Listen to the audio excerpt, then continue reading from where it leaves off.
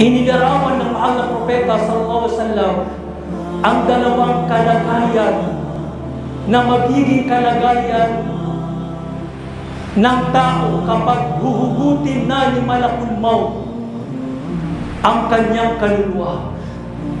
Pag nila-nilayan natin kung saan tayo sa dalawang kalagayan na ito.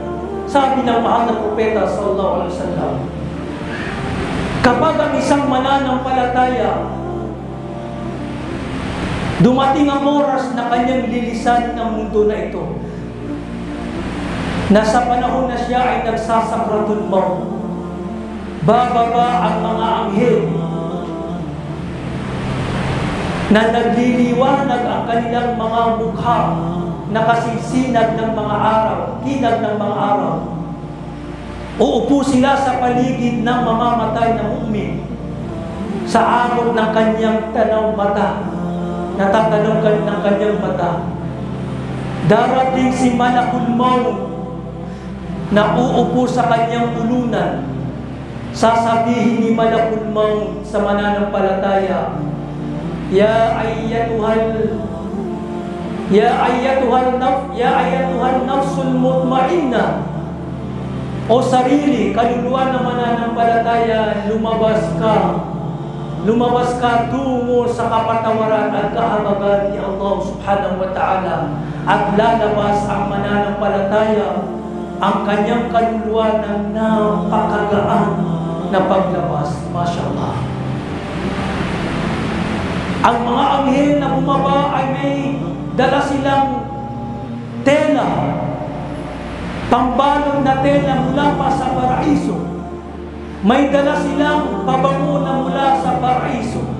Kanilang babalutin ang kaluluwang ito at lalagyan nila ng pabango at lalabas sa kaluluwang ito ang halimuyak na napakabango at lahat ng mga anghel ay pagduduan nila ng habag at kapatawaran ang kaluluwang mu'min at itataas nila sa langit.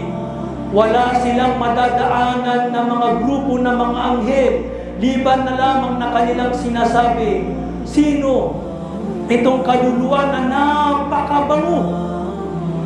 Sasabihin ng mga anghel na nagdala ng kaluluwa, ito si Fulan na anak ni Fulan, Masya Allah, tatawagin nila sa pinakamagandang pangalan hanggang sa dumating sila sa langit na pinakamababang andas.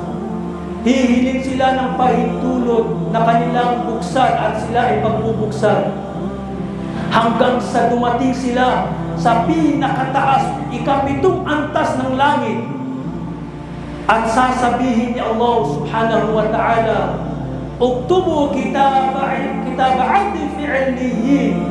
Isulat niyo ang aklat ng aklat ng mga gawa ng aking mabuting alipin sa pinakamataas na antas na mga lugar na kung saan itinatala ang ating mga gawain, mga gawain ng mananampalataya. Pagkaraan sasabihin ni Allah, ibalik niyo siya sa lupa.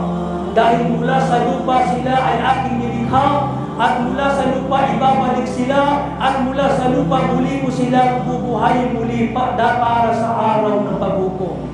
Pagkaraan ibabalik ang kaluluwa sa kalupaan. Darating ang dalawang anghel, si Munkar at Nakir.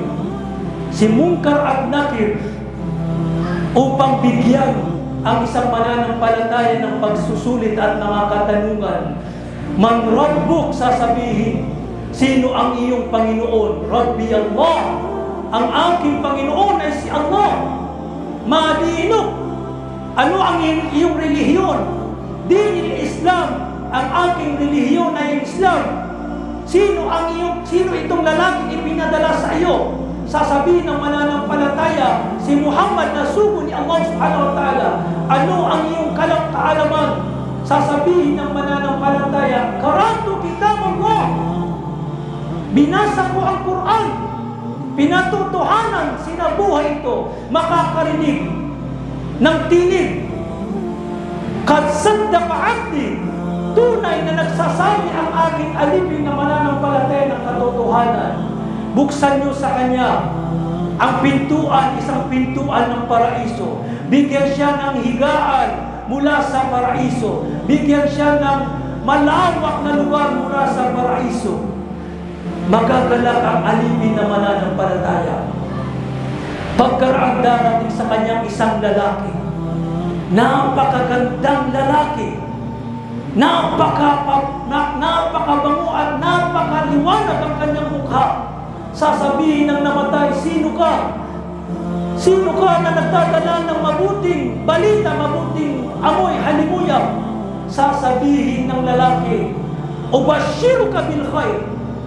Bibigyan kita ng magandang balita. Huwag kang mag-alala. Ako ang iyong mabuting gawa. Akbar. Ako ang iyong mabuting gawa na makakasama mo dito sa libingan upang maging attorney mo. Magaganap ang isang mananampalataya pagka ang bubuksan sa kanya ang dalawang pintuan. Pintuan ng paraiso at pintuan ng impyerno at sasabihin sa kanya, ito sana ang iyong lugar sa mula sa impyerno apoy kung naging suwail ka lamang. Ito sana ang iyong lugar sa impyerno apoy. Subalit pinalitan ito sa iyo ni Allah subhanahu wa ta'ala ng paraiso. Kaya ikaw ay maging panatag, magpakasaya.